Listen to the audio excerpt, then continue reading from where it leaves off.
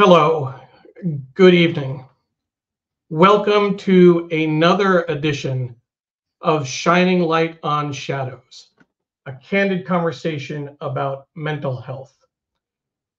Our guest this week, or this show, is Indira Somani. We're going to be talking about two topics today uh, mental health in the South Asian community and the mental health impact on caregivers and caregiving. My name is Neil Parekh. My co host is Dawn Helmrich. And uh, thank you so much for joining us. And if you're watching on replay, thank you for watching the show at a more convenient time. We are live on Facebook, Twitter, LinkedIn, YouTube, Instagram, and my website.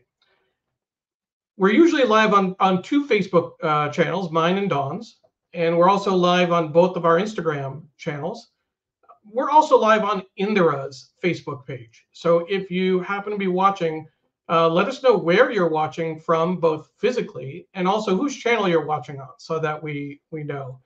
Um, we'll be able to put comments on the on the uh, screen, uh, but again, to do that, make sure you press play on the video. Uh, so if you're watching it in your feed, uh, press play on the video so that we can see uh, your comments there. Um, as I mentioned, we're going to be uh, uh, focusing on mental health in the South Asian community and the mental health impact on caregivers, kind of a dual focus today. Dawn, episode five, we're doing this. It's, I know. We're, we're getting momentum. We're getting people are, are reaching out and watching the show, uh, getting some great comments. Um, I want to right off the bat talk again about why we're doing the show and how we got to this place. Uh, and it's particularly uh, relevant uh, in April, uh, April 11th today, uh, because it's uh, Sexual Assault Awareness Month. Um, and this graphic is from the Office of Prevention of the Prevention of Domestic Violence from New York State. Over half of all women and one in three men have experienced sexual violence involving physical contact in their lifetime. Uh, and this is something that's very important to both of us. Um, and I'm always grateful and will forever be grateful to Candace Sanchez uh, for her show, Unspoken Conversations with Candace. Um, I co-hosted that uh, last year's uh, uh, season, focusing on male survivors of sexual abuse, people like me. Uh, and I'm only able to say that, Dawn, because of you. So thank you for all of your support. Um, but we talked about mental health almost every month on that show and the impact that um, trauma has on on people, and that really was the basis for this show. You know, I called Dawn and asked her to whether she'd be a guest. I was reaching out to people who are open about talking about mental health issues on on social media, and I first I, I reached out to Dawn, and she said, "I said."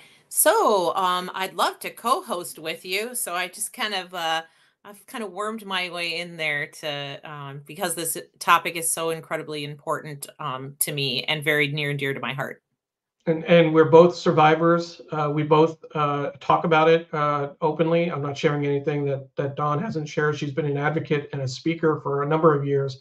Um, but for me, it was an outgrowth of that work. I I spent the year talking about my own uh, experience being abused. And I actually, for a number of years, uh, and I remember saying this to Dawn at a dinner um, at a conference, I was more reluctant to talk about uh, having anxiety and depression and seeing a therapist than I was talking about being a survivor. And so this show was kind of my way of, okay, if I'm worried, if I'm scared about it, I'm just gonna do it. And and the idea is to reduce the stigma around mental health.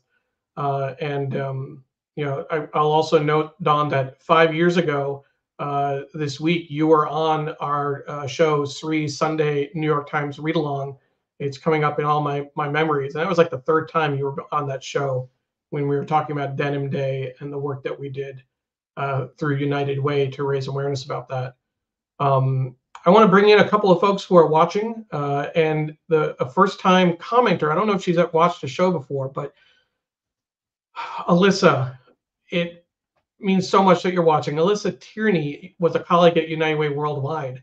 Uh, she worked in our um, talent management uh, office and moved out to Colorado with her now husband, who worked on our marketing team, uh, Brian Tierney, and I was there at their wedding.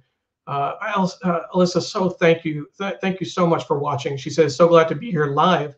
Thank you for bringing light to this topic in this series. Uh, and she's watching on my YouTube channel in Colorado. So thank you, Alyssa. My mom is watching on Hast- from Hastings on Hudson on Facebook. Thank you, mom. Uh, she is such a loyal supporter of the show and of all the shows that I do. So thank you. Apollo is a colleague from Digimentors who's watching from Philadelphia on Facebook. Thank you. Uh, Rochelle is a, a, neighbor of ours in Hastings, and she's watching.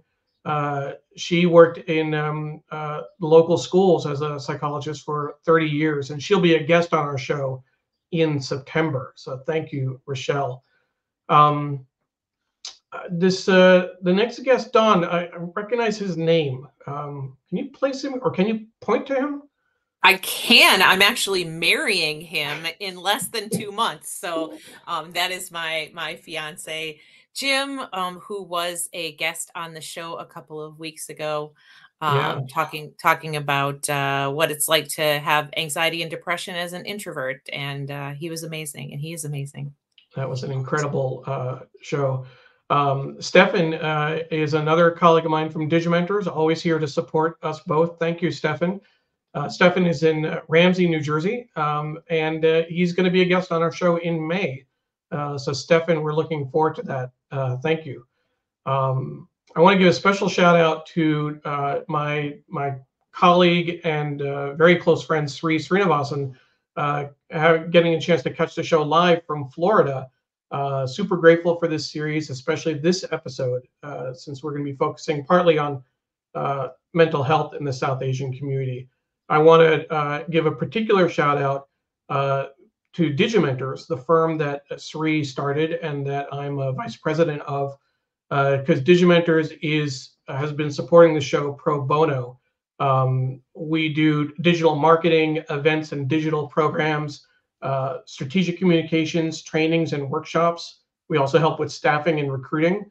Um, and Sri has been doing uh, a lot of uh, workshops on AI in particular. And I'm fixing my mic. Hopefully, my mic will come through a little bit close, better now. Um, but I can't thank uh, Sri and my colleagues at Digimentors enough, not just for giving me the time and space to do the show and the resources, um, but also for amplifying it, for retweeting it, for watching, for commenting. Uh, not just Sri, but a number of other uh, colleagues. So thank you to Digimentors. Um, really it means a lot. Um, my mom says uh, that we're doing a great social service, so thank you, mom. Uh, and uh, Paula Kiger, another Digimentors colleague, is watching from Valdosta, Georgia. Um, and uh, Apollo wishes you uh, congratulations on your impending nuptials, Dawn. Gl we're glad you found each other, and I will just say that you know more than you realize, Apollo. It is so great that they found each other uh, Jim is uh, so perfect for Dawn, uh, and I'm sure Dawn is good for him too. But you know, I'm thinking from from my perspective, uh, Jim was exactly what Dawn needed when she needed it, and uh, I'm so thankful that she found true happiness with him. Um, and apparently, uh, he's also trying to communicate with you, but some kind of cryptic invisible message. I got it. I already know what he was trying to say. Do you know what he's trying to say? Good. Okay, I'm glad about that. Yeah. See, you're you're you're already in sync, which is yep. which is good. Um. So as I said, we're we're talking about two different topics today, uh, and uh, they really come together in uh, Indira's uh, work. She's working on a documentary uh, about her mom, who has suffered from uh, depression for the past 20 years after losing her husband, Indira's father and Indira is one of her caregivers. Uh, as a filmmaker, as a uh, uh, independent documentary filmmaker, Indira's kind of uh, response, you know, as as one does, oh, okay, well, let's make a movie about it. Let's make a film about it to to help raise awareness and and talk about this. So, in the blog post she wrote uh, for the show, and we'll have her talk a little bit more about this later, but uh, it's telling my mom's story and caring for her. Uh, and the quote, my mom could not immediately uh, lean on the South Asian community once she was diagnosed with depression, and instead turned to me. Uh, and in her uh, blog post, she goes into goes on to talk about the documentary and talk about her relationship with her mom, uh, which I encourage everyone to read. You can find the link uh, to her blog post on our website in the links for the various shows on Facebook and YouTube. Uh, certainly encourage you to read that. When I saw her post um, about the documentary, I think it was first on Facebook.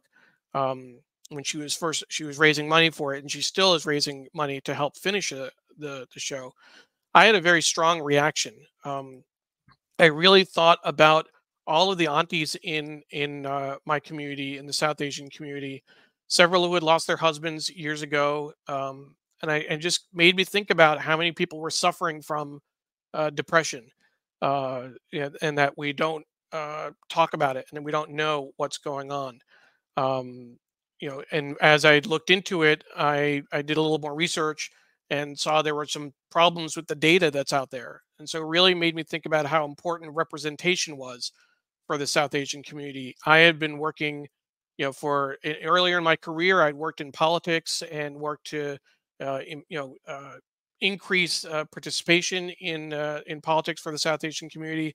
And at the time, there was nobody on TV, nobody in films or sports or, or that type of thing, much less Congress. And I always thought about it uh, in that context. It would be great to have someone in Congress. Now we have several members of Congress, uh, which means a lot. But seeing Indira um, do working on this movie about her mom, and we'll learn more about her mom later and see pictures of her mom. That really struck a nerve for me. The fact that you know we were seeing I was seeing someone who looked like people I knew in my family, in my community, and she was willing to talk about her depression uh, was a lot. Uh, Dawn, you wrote a blog post as well, and I'll share some links uh, in um, in the chat. Uh, you you wrote about a blog post about your mom and your relationship with her. Can you talk a little bit about that, just a little? Yeah, so uh, so my my quote here is um, my silent hell as a caregiver was always there. The anxiety, deep fear, and depression were once again nearly unbearable. I felt selfish for wanting her to not leave me. Um, this this uh, particular blog post is um, ooh, it's a really tough one for me. My mom uh, will have passed away four years, April twenty third. Um, and I still miss her every single day. But being um, her caregiver for the last three years um, of her life was the biggest honor, um, the greatest joy, and the most painful experience I think that um, that I've I've had in a very very long time in my life. Um, I feel very very blessed that I got to spend time with her um, and learn about her and um, and and watch her and help her through uh, a very very difficult cancer um, and through her hospice stay. Um, but it was uh, when you when you have anxiety and depression um, at the level that I do, um, trying to really hide that, mask that from her so that I could be with her um, and and love her and care for her uh, was very very very difficult for me. I um I, I spent a lot of very uh, lonely evenings, um, kind of uh, trying to get through trying to get through that. Um, and and I'm I'm still not there. Uh, it's been almost four years, and I I miss her um, every every single every single day. Thank you, Thank you. Uh, Dawn. Uh, really appreciate that. Um, and uh, I want to just point out that uh, Jim's um, comment that we couldn't see in uh, StreamYard were all hearts. Uh, it just didn't come through, but they're hearts coming through. And I think that um, particularly sharing about your mom, I know that you've, I've seen your post about your mom. I know how close you you were and how how uh, hard it was. And that's why when when I talked to Indira and I saw this this um, topic, I thought this would be a great show for us to do because it, it really speaks to two very important issues that we both uh, uh, care about. Uh, with that, uh, I want to bring on our guest, uh, Indira Somani, to talk a little bit about her, uh, her, mom, the documentary, her role as a caregiver, and so much more. Indira, welcome to the show. Hi, Neil. Thank you so much uh, for having me. I really um, am. I really appreciate the opportunity to be a guest today. And Dawn, I just want to uh, oh, there's a bit of an echo. Uh, yeah, I, Dawn, I just want to say um, I'm very sorry for your loss. Um, there is no formula to grieving. It's uh, it's different for everybody, and don't feel like, um, oh, I should be able to handle this by now. It's uh, I my dad passed in 2002, and um, I felt like it was at least six years before I could really kind of um, I don't know, if he came up in conversation, I could talk without, you know, shedding a tear. Uh, and it was definitely, um, we would have these pujas on the on the anniversary of his death um, every year. And it wasn't until the 10th anniversary of his death at that puja that I didn't break down in tears and I really just held it together. So um, I, uh, anyway, on that note, um, we are here to talk about our moms. We're here to talk about our roles as caregivers, and we're here to talk about uh, the South Asian community. Um, so, to be clear, Neil, um, I didn't just, I, I, don't know, I don't think this is exactly what you said, but I didn't just like wake up and say, oh, let's make a film about this, you know, you know. Um, my mom has been, uh, you know, since my dad passed, she's really struggled with um, depression. And um, she is a retired award winning social worker, which is sort of the irony in all this is um, she worked mainly with dialysis and kidney transplant patients as a medical social worker. And, uh, but, you know, there, she also had her rounds of being on call working with uh, rape victims and domestic violence and child abuse and you know sort of all of these uh, types of cases and um, so my uh, i guess i reached out to her and said asked her you know what do you think about making a film about sort of what you're going through? Um, because and she was completely on board. She wants to get the message out that depression is real and um, it does exist in the South Asian community. Uh, and, you know, another thing that I want to say is so I hope uh, if anybody from Springfield is tuning in, because they're uh, the Springfield community, my hometown, have been huge supporters of the film. And um, they, the thing is, you know, I, I say in that blog post that she could not immediately lean on the South Asian community. And I, I still stand by that. I mean, the community is incredibly supportive now, and perhaps they've been incredibly supportive the last 10 years. But in the early, perhaps within the first two years, there were honestly only one or two aunties who really were there, I felt, who were really there for her and sort of understood her struggle. And that has to do with um, one of her close friends whose own mom suffered from depression in India. So she really understood what my mom was experiencing. And then, of course, another friend of hers who uh, was a physician who definitely was sort of giving me and my sister guidance on making sure mom gets the medical help that she needs.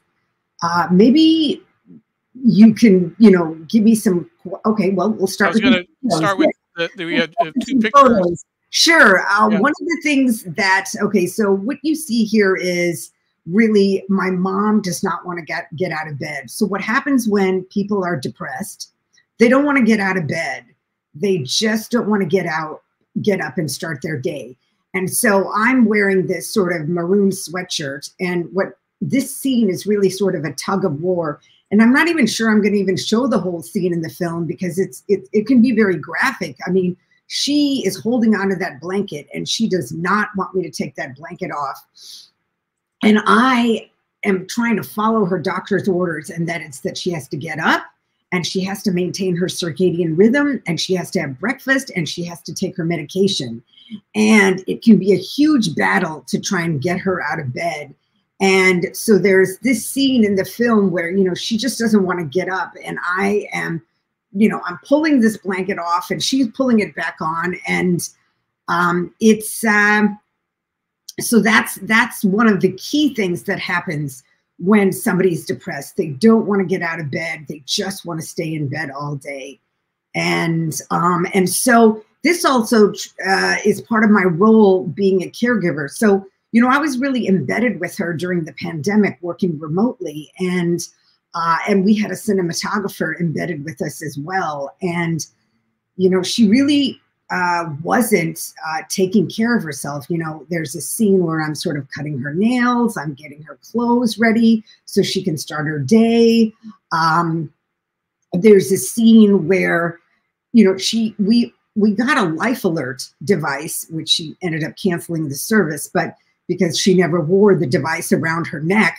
But there's a scene where, you know, the life alert device is found in the dryer you know, first it was in the washing machine, then it was in the dryer. And so, you know, something triggered it where the intercom system went off and, yeah, you know, they're asking her, are you wearing your device? And we can't find it anywhere. And then, of course, you know, we find it in the washing machine. And that happens with a lot of sort of senior citizens. They forget where they keep it. It's in their clothes, it's in their pockets. Um, a lot of times what happens in um, South Asian culture is uh, people think that you can resort to prayer to uh, sort of deal with your mental health issues.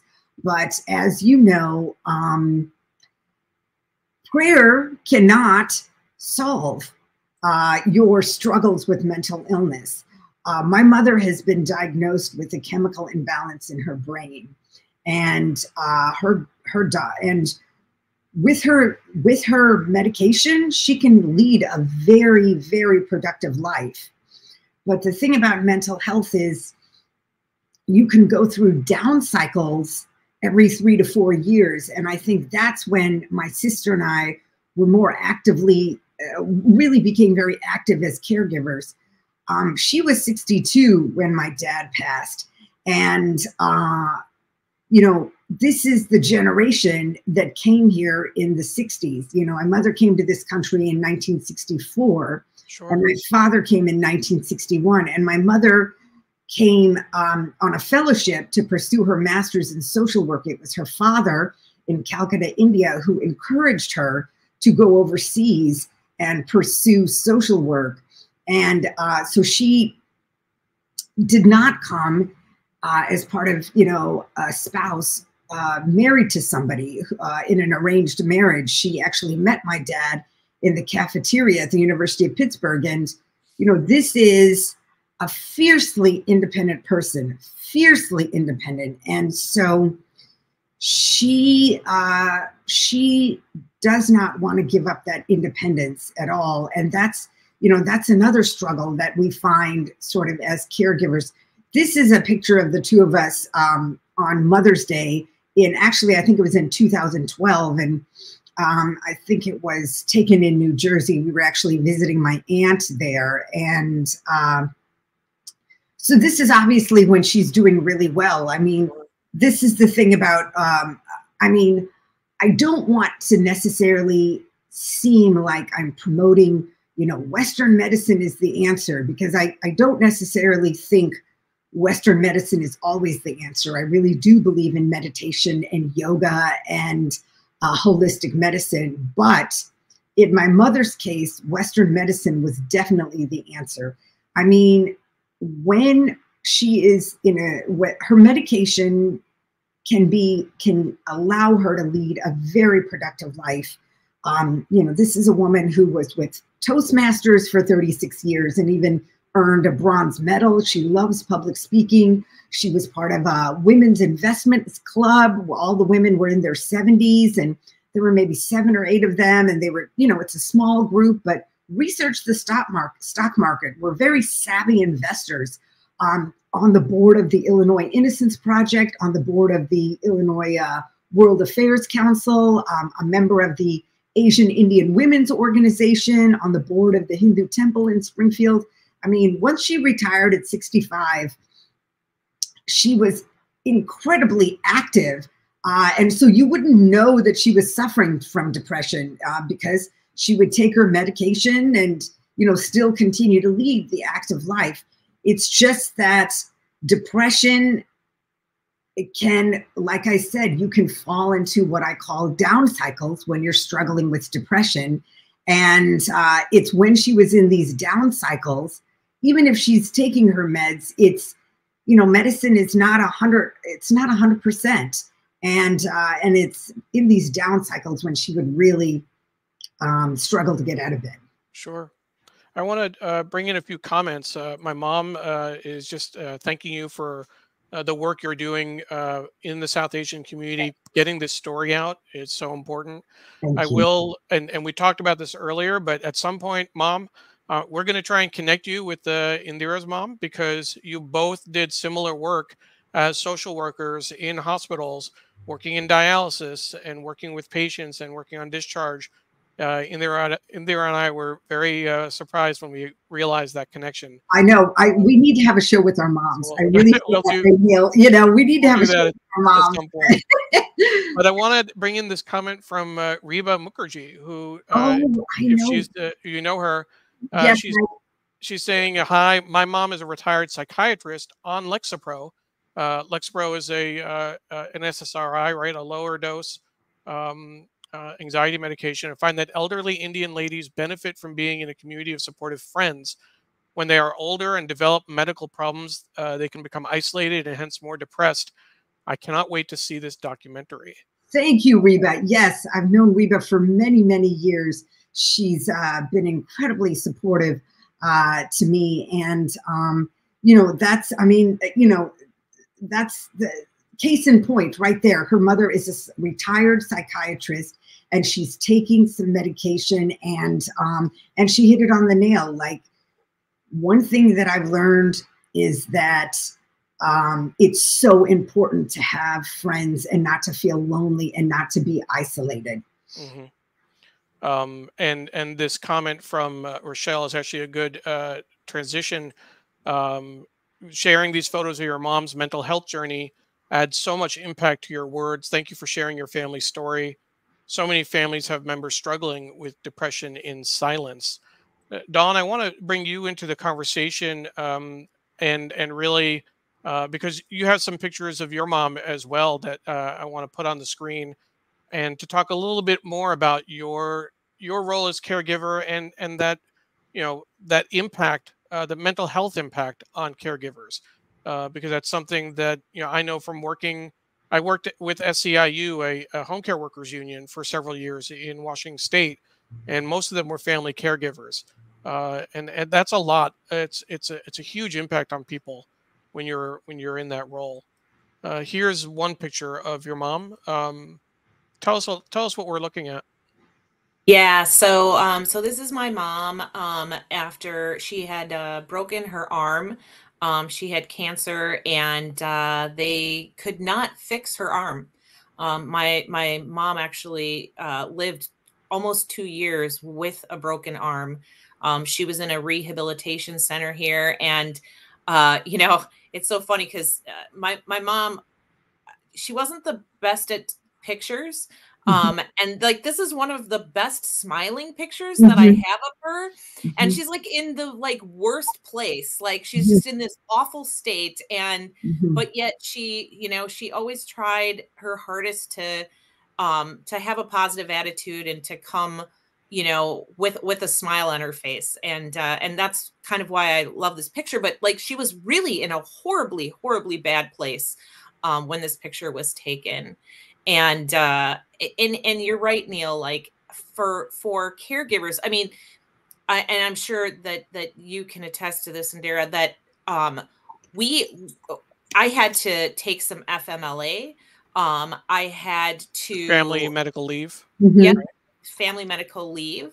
Um, I was going to her um, hospital and her bedside and, and her rehab center every day after work, not getting home until late at night. Um, my children, I, you know, my children were not um, completely grown adults yet. They were in their teens. Um, and they, they were so generous um, to give up time, my time with them in order for me to be with my mom and also to come and see my mom as often as they could. Um, my daughter, in fact, um, chose not to go to school out of state. She had the opportunity to go out of state. She chose to go to a local school um, because my mother was so sick that she wanted to make sure that she was here um, here for her. So so that's a that's a very um, special picture. This picture is so one of my favorite pictures of her. Um, there's nothing better than when you can get your 80 year old mother to do duck lips with you. I will tell you that. um, so, um, but she was just uh, this this you know this was when uh, she was at a point where she uh, was in a wheelchair. She had a broken arm. She could not get up. Um, uh, very easily on her own. She had a, a reclining chair that lifted her to her feet so that she could get into a wheelchair to wheel herself um, to the bathroom. She had caregivers coming in morning, afternoon, and, and night to dress her and feed her. Um, but she still was willing to give me a give me a duck face here. So, um, but it is it is very taxing on um, on the caregiver.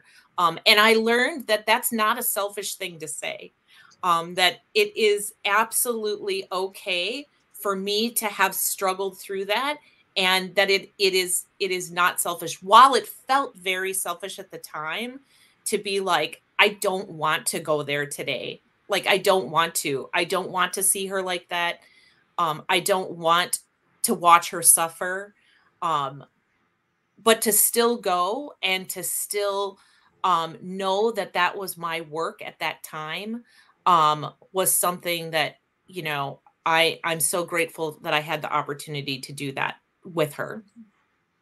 Absolutely, Dawn. I mean, I'm I'm so grateful that you you shared uh, your journey because you're absolutely right. There's been a lot written about how the caregiver needs to take care of themselves, and um, I really you know, you find yourself doing everything, you know, making the meals, just doing everything. And you don't, you know, you don't get a moment of rest until you go to bed. And then you start the day all over again. And it's so important to, um, I really tried to do some yoga when I was sort of uh, embedded with my mom um, uh, and working remotely during the pandemic. I really tried to do some meditation. I tried all kinds of things to take care of myself. It was hard I didn't really have this concentration that I wish I had. One of the things that uh, that I wanted to to talk about, uh, and as I mentioned earlier, when you know I first uh, saw your post, Indira, and I thought about you know my experience in my my world, my community. Um, the thing that that hit me the most is really when I started looking at looking for data on on the uh, experience of uh, you know South Asians and mental health. Um, I did find you know one really good credible stat. Uh, one in five South Asians report experiencing a mood or anxiety disorder in their lifetime. It was shared by the South Asian Public Health Association, uh, mm-hmm. and there was a really good study that that that that, that came from. Um, for context, one in five U.S. adults experience mental illness from from NAMI, uh, National Alliance for Mental Illness. So it was interesting to see that you know very similar number. But after that, um, I was very frustrated, uh, and it, it, took me back to my days when I was working as uh, in in policy in Washington D.C. Um, there's so so little data that is broken out by ethnic group. Right? Mm-hmm. A lot mm-hmm. of it is by Asian, you know, kind of the top line, mm-hmm. white, black, Hispanic, Asian, uh, etc. Um, and you can't really not only can you not have the, the the data disaggregated, but then you also have uh, you know people not understanding the data even like i could i was reading through various websites looking for stats and and there were so many misrepresentations of the south asian experience where people would uh, right. quote a data point and it was actually referring to southeast asians instead right. of south asians right right it's um, very frustrating neil yeah i i i think i even shared some information with you that uh well, the pandemic, of course, shed light on yeah. uh, the lack of caregivers in the US, and caregiving is a sustainable profession. Uh, the CDC reports that the number of people 65 years and older is expected to double between 2000 and 2030. And uh, the well, you just shared the American Psychiatric Association also says one in five U.S. adults experience mental yeah. illness, yeah. and um, and uh, the decline in mental health um, is also uh, reported by the um, well it says older people who face physical challenges such as reduced mobility chronic pain frailty and other health problems contributes to their decline in mental health according to the world health organization. And i also found something um, that had to do south asian immigrants increasingly experience high rates of mental disorders uh, which often go unaddressed, according to the Journal of Immigrant and Minority Health. So um, yeah. it is. Uh, I will say that when I launched my Kickstarter campaign, which was my fundraising campaign, which was you know um, it was it, we launched it December nineteenth, um, just before the holidays, but it went till this February second. I was inundated with emails and from people and text messages from people saying, I'm so glad you're making this film. Um, did I tell you about my dad who suffered from depression when my mom had Parkinson's? Or, you know, people would be sharing their stories and how real it is. And, um, but I think, you know, it, we also have to think about this particular generation. Uh, and this is something that, you know, I've really uncovered with my own dissertation research, and that is, you know, they, when they came to this country, there was no internet, there was no WhatsApp, there's no social media, none of this. And so they're relying on letters to stay connected to their extended family in the United in, in India. And you know, back then it takes a month for a letter to get to India and maybe a month for another letter uh, to get back to the United States. And that's only if people, you know, respond right away or if a letter doesn't get lost in the mail, you know, all of these things. I mean, just think about how we operate as humans. We are so, um, we're constantly in touch with our friends, with our family through uh, various electronic platforms. And the amount of mental strength it took for, I find, this particular generation to leave their family and try and build their lives here. And it wasn't easy to go back to India and see people. I mean, my dad was in this country for five years before he returned to India to see his family or could afford to return to India.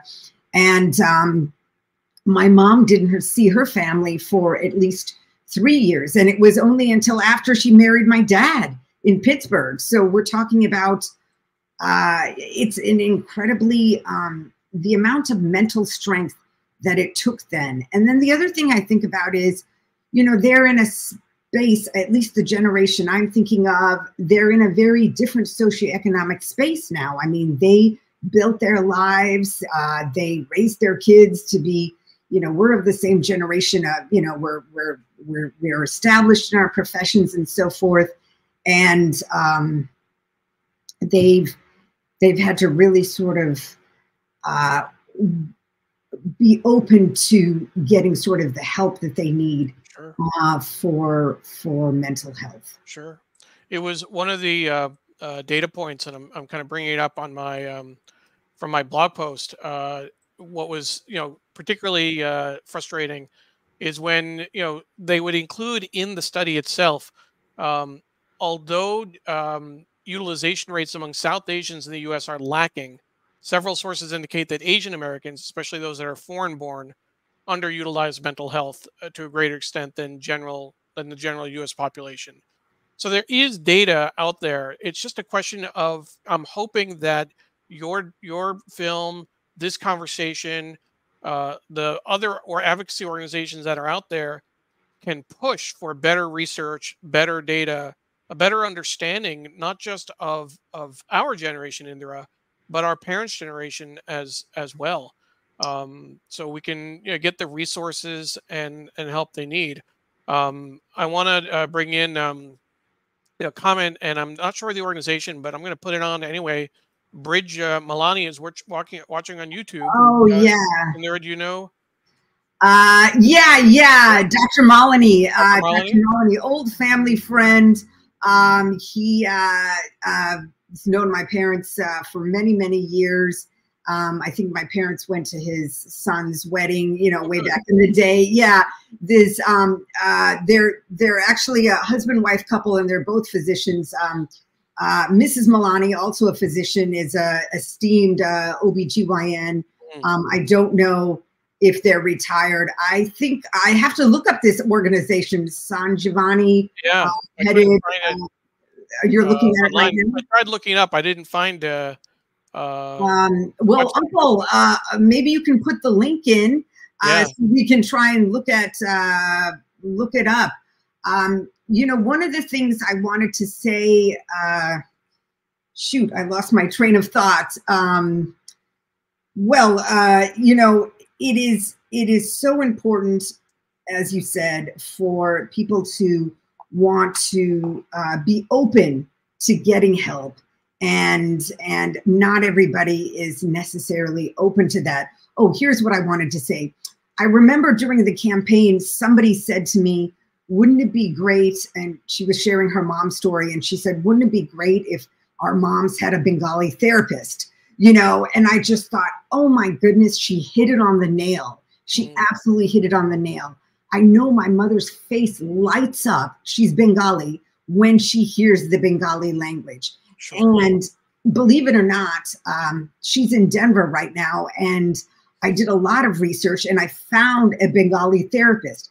But guess what? This Bengali therapist uh, does not take Medicare. Okay. And I know my mom doesn't want to pay out of pocket. I mean, all of this stuff is expensive. And, you know, this therapist would have been absolutely perfect for her. Um, I mean, I really uh, I just, you know, I think language is also a barrier to reaching older Americans in, in ethnic communities. And uh, we do need a Spanish speaking therapist, uh, Gujarati speaking therapist, Bengali speaking therapist. I mean, we need people who are willing to talk to older Americans in their native language. I think that would also really make a difference. Um, do you see Absolutely. more comments? Absolutely. Yeah, a few more comments coming in. Apollo uh, says, What's good to see here is the tackling of stigma, especially for the elderly. Hopefully, with more storytelling, the stigma can be challenged in all communities. Um, and uh, my mom uh, says she agrees with the data uh, because many Indians hide when they seek psychiatric treatment. Uh, and I think that's it's even it's a bigger issue than that. It's a question of um, you know even after some of the data I saw, even after people are diagnosed with a mental illness, mm-hmm. they don't get treatment. So mm-hmm. it's kind of, you know, the number of people who are diagnosed is underreported because people aren't even going to get initial uh, care and, and mm-hmm. acknowledge mm-hmm. the symptoms they have, much less when they do mm-hmm. get diagnosed, they're not getting the care they need. Now, one thing I will will point out, one of the issues, um, you know, in terms of uh, looking for care and finding uh, you know uh, professionals that you can connect with and and you know find someone who maybe speaks your language or is at least your same ethnicity. I, I do want to say though that that's not a guarantee of a good relationship between a a uh, absolutely a, you're absolutely right. right. You have to feel really comfortable with your doctor. Yeah. Uh, to be honest with you, um, so as you know, I grew up in Springfield, Illinois, and um, uh, and my mom's both of the doctors she saw there happened to be Indian women. Now the thing is, her last doctor um, was a geriatric a psychiatrist who specialized in geriatric psychiatry and a South Indian woman. I mean, my mother said to me, "I want an Indian female doctor who specializes in geriatric psychiatry," and I'm thinking how am I going to find this in Springfield, Illinois? But of course, you know, uh, she was there and they had a very good relationship. And her doctor before that, who was treating my mom for at least 16 years, um, also an Indian woman. Uh, um, I mean, both of them were, I believe, you know, even younger than me, but my mom felt very comfortable with them. I was not 100% sure if they were necessarily the right doctor for my mom, but it didn't really matter what I thought because my mom was very comfortable. Um, I see. Um, so, Dawn, yeah, do you want to jump in? Yeah, I just wanted to jump in um, because as a researcher and Mhm. somebody who works at United Way, and um, we do a lot of things around mental health at, at my United Way, um, I just wanted to make the comment that um, so often we hear from people in our community that they they want a therapist that looks like them that Right. they want a therapist that speaks their language um Right. so i you know i think it it, it crosses um over every culture Sure. um you know we we have a, a high Hmong population in milwaukee and a Right. and a and a high african american population and um that is there are not enough therapists um f- for uh for people in different cultures that look like them Well, I would what I would say just to be uh, specific about it, um, that the um, you know when I was in uh, Seattle, uh, and I talked about this uh, in our last episode when I was in a, in a particular crisis, and I reached out for help. I got paired with a uh, Indian uh, American, a South Asian therapist at the University University of Washington, um, but who was you know more of an uh, I, I think he was a, a little bit older. He was uh, you know he wasn't born here; he was an immigrant uh, generation, and we didn't connect at all. I actually did much better, and I'm still hoping that I'll be able to get him on the show. Uh, an older uh, black man, uh, Mhm. Dr. Michael Kane, who uh, his specialty was PTSD among African Americans, but he and I hit it off, and we've uh, continued. We remain friends and are in touch. So it's it's. I think there's it'd be interesting generational, you know, the generational difference in terms of when you're looking at uh, therapists or looking at providers, who you connect with, right? I'll I'll relate much more to someone who was born and raised here Right. than than not.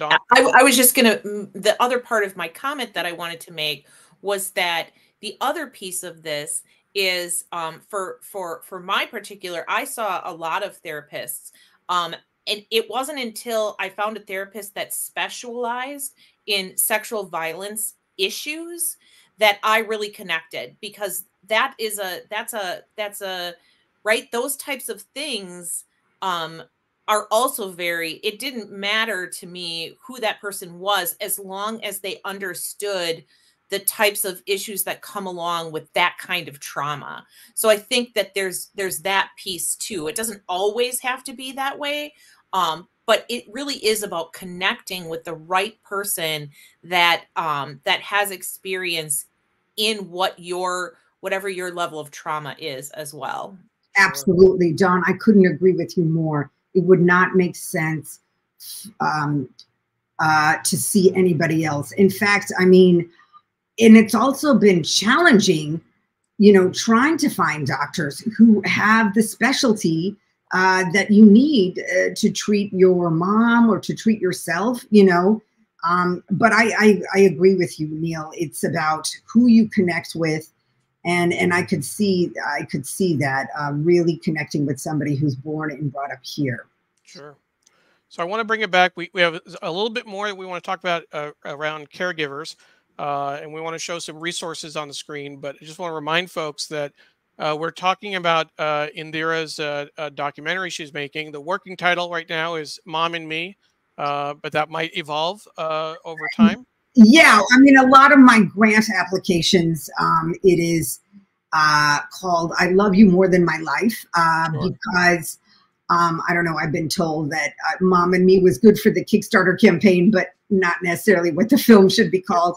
And It my mom, evolve. my it may evolve. My mom ends every phone call with "I love you more than my life," and um, yeah, you know, making a film is uh, is a lot.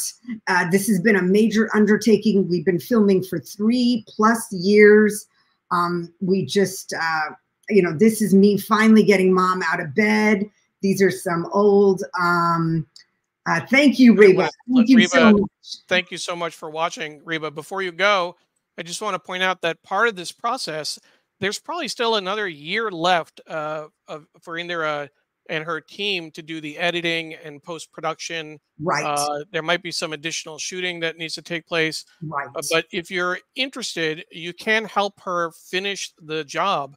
Uh, she's raising money uh, through a partner. Uh, the link is mom and me uh, dot alirafundraising.com. I'll share it in uh, Facebook as well. Um, but anything you can do to help, uh, you know, get this project to uh, to the end would be much appreciated. Uh, it is certainly something we want to see out there in the world, and uh, it's not easy.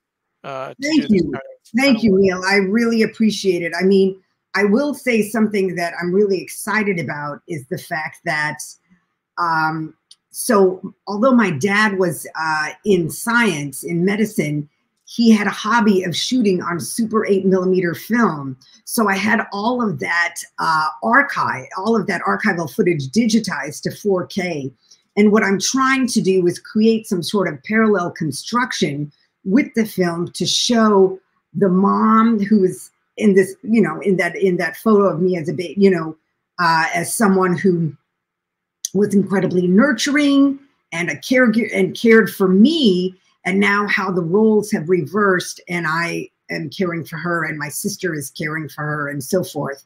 Um, this is a picture of a, you know, this is my mom. Really, this is when she's doing well, and she loves gardening, and. Yeah. Um, I just want to point out if people go to the fundraising page, this is what it'll look like. This is the fundraise the, the fundraising page, not the other one. But um, I, I shared both links in Facebook. But if you're if you're interested, please uh, please check this out. Um, I do want to um, close or, or start to close a little bit. Um, but there is a uh, another uh, data point and an organization that I want to point out to people uh, around caregiving because this is so it's intertwined the South Asian uh, discussion, the caregiving, um, this this uh, data point, uh, the mental and emotional effects of caregiving. Forty to seventy percent of family caregivers have clinically significant symptoms of depression. Um, Forty to seventy percent, which is just uh, incredible. Uh, about a quarter to a half of these caregivers meet the or diagnostic criteria for major depression. Um, and this is from the Family Caregiver Alliance. You can find more information about them on their website, caregiver.org. Uh, caregiver.org. Um, we actually close uh, each show uh, in there by sharing some uh, data and some uh, information from uh, other uh, organizations. Um, Mhm. so NAMI, uh, which is the National Alliance on Mental Illness, they have a Mhm. helpline, 1-800-950-6264. Uh, you can also go to their website, NAMI.org, or text them.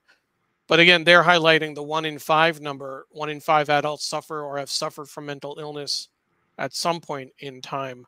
Um, we also uh, give uh, some attention to mental health in America. Uh, Dawn, this is a, a a really, I think, a really interesting infographic because it kind of broadens that picture, right? Um, 18% of adults have a mental health condition, over 43 million Americans. Um, and we talked about this a little bit in our last show 9.6 million experience suicidal ideation. Uh, and this is from Mental Health uh, America. Uh, so we Mhm. want to make sure people kind of understand that context as well. Um, and finally, we also uh, want to make sure that we get the number up there. Um, chat at, at 988lifeline.org or MH, MH National, uh, MHAnational.org is their website. Uh, and then we actually always show the uh, data point from RAINN. Going back to the beginning, you know, Dawn and I, we've shared that we're both survivors. RAINN is a rape, abuse, and incest national network. Every 68 seconds, American an American is sexually assaulted, particularly during Sexual Assault Awareness Month. We want to make sure that uh, we're raising awareness about that and letting people know that um, they can uh, get help through their website and through their um, through their uh, hotline. Um, I just put a couple links yep. there in our chat. Yep. Okay, great. I, I, have them ready to show actually. Um, okay. So uh, the South Asian, another uh, organization that we are um, uh, want to make sure we show is the uh, South Asian uh, Mental Health Initiative uh, and Network. so we'll put that on the screen as well, and we have the banner for them, their website, uh, samhin.org. Absolutely. I mean, this this is this is an incredible organization, and um, I have found uh, what I did was is I reached out to them for funding, and um, when this film is done, we're going to be working together on outreach. Actually, I've had other organizations uh, reach out to me um, and about uh, being part of the impact campaign because um, it's not just obviously about mental health and caregiving, but you know, it's obviously it's about the relationship I have with my mom. But you know, this is an organization I didn't even know I existed, and um, the person who uh, launched it, uh, Dr. Makhija, he's he's really uh, passionate about these issues and understands um, the struggles of uh, mental health in the South Asian community. And there's one other organization, the South Asian Public Health Association, which we mentioned oh, right. earlier. Uh, and you can find uh, their uh, website, uh, sapha.org, uh, sapha.org, uh, for the South Asian Public Health Association. They're the ones I found had the most credible information online. Um, so thank you uh, for letting us share that with you. Uh, I do want to bring in a few more comments before we uh, close. Um, we have uh, uh Stefan, uh, such an incredible undertaking. We'll support by sharing on all platforms, and that's certainly you can share this on social media and let people know about the project that's out there. So thank you, Stefan. Um, and uh, Alyssa, who started off the show, I, the comment that I shared. Uh, this has been incredibly powerful. Thank you, Indira, Neil, and Dawn, for sharing your experiences in there, I really look forward to watching your upcoming you. film. Um, if folks joined us late, I want to make sure that you know that you'll be able to watch the show from the beginning um, on all the links that you're watching now on Facebook, on Twitter, on LinkedIn, on YouTube, on my website. We will be putting it up on Instagram as well. It'll take a little bit longer to put the uh, live show up, uh, but as soon as we're done, give it a few minutes and you'll be able to watch it from uh, the beginning. Uh, our good friend uh, uh Dr. Chitachi uh, joined us late, uh, saying good evening. so, in particular, if you happen to join late, you'll be able to still watch the show from the, the very beginning. Um, we we have as as we've mentioned, the show runs the second and fourth Thursdays of the month, twice a month. Uh, Dawn and I kind of came up with that cadence. It was comfortable for us. Weekly is a lot. I do the show uh, with Sri every Sunday, and um, so our next show is actually going to be um, uh, someone that Dawn knows. Uh, it's uh, the fourth Thursday. Uh, Cat Claus, Cat Claw rather, is going to be our guest. Dawn, can you tell us a little bit about Cat? Yes. Um, so Cat is uh, so this this month, as Neil said, is Sexual Assault Awareness Month. April twenty fourth is Denim Day, which is a day to support survivors of sexual assault by wearing jeans. Um, and she is going to be on talking about um, mental health as it relates to her advocacy work. She is a survivor of sexual assault, um, and she does a tremendous amount of uh, legislative advocacy work. Um, and she's going to talk about the healing process of doing that, but also the the mental health toll that that takes. And uh, will be that'll be two weeks from today, April 25th, Thursday, April 25th.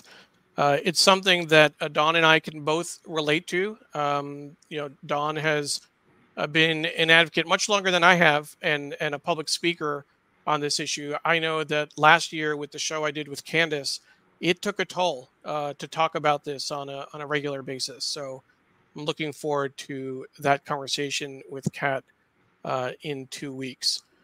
Indira, thank you so much for joining us uh, today. We really appreciate Thank you so it. much. Thank Yes, you. Thank you so much. Thank you We both. really appreciate you being on. I really appreciate it. I really appreciate the opportunity to talk about mental health and uh, the South Asian community and caregiving in the South Asian community. And uh, as you can see, you can follow Indira on social media, uh, I Somani on Twitter, indira.somani.one on Instagram, and you can also learn more on her website, indirasomani.com.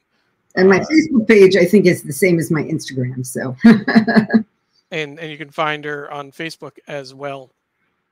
Thank you again. Uh, Thank thank you for all of your support uh, for people watching, and um, we will see you in two weeks. Bye bye.